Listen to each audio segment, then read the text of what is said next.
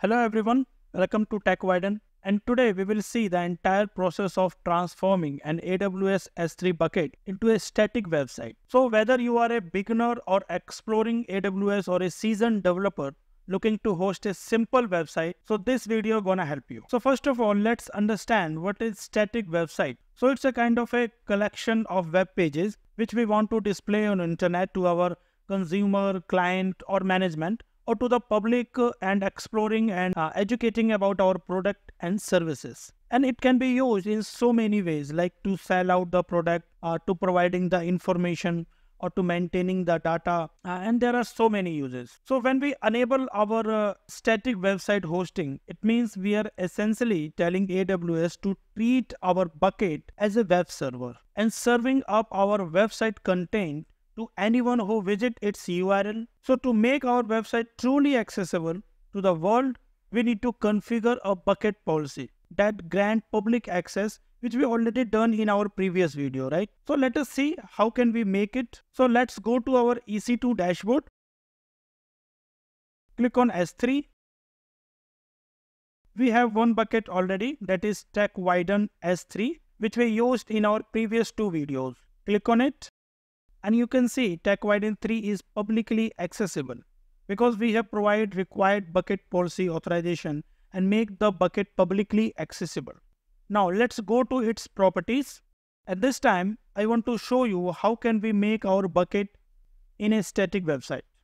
So way down in the properties, there is an option to make the bucket into the static website. So currently it is disabled. Just click on edit. Click on enable now there is a free option like what type of hosting we require. So first one is like host static website or redirect request from an object. So by default, hosting static website is selected. Now in the index document, we have to specify the home page of our website.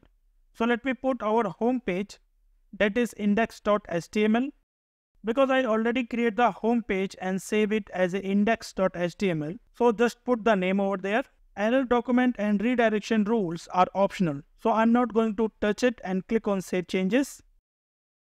Now go to the object.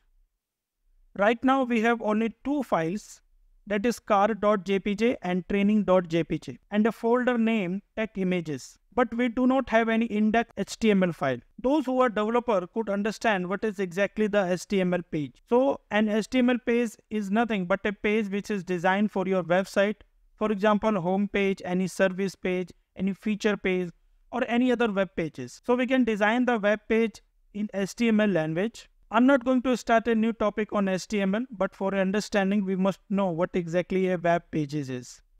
Click on upload, then add files, and add your index page.